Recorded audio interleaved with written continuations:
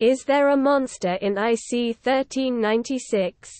Known to some as the Elephant's Trunk Nebula, parts of gas and dust clouds of this star formation region may appear to take on foreboding forms, some nearly human.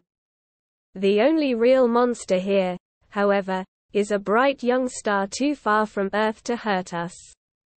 Energetic light from this star is eating away the dust of the dark cometary globule near the top of the featured image. Jets and winds of particles emitted from this star are also pushing away ambient gas and dust. Nearly 3,000 light-years distant, the relatively faint IC 1396 complex covers a much larger region on the sky than shown here, with an apparent width of more than 10 full moons.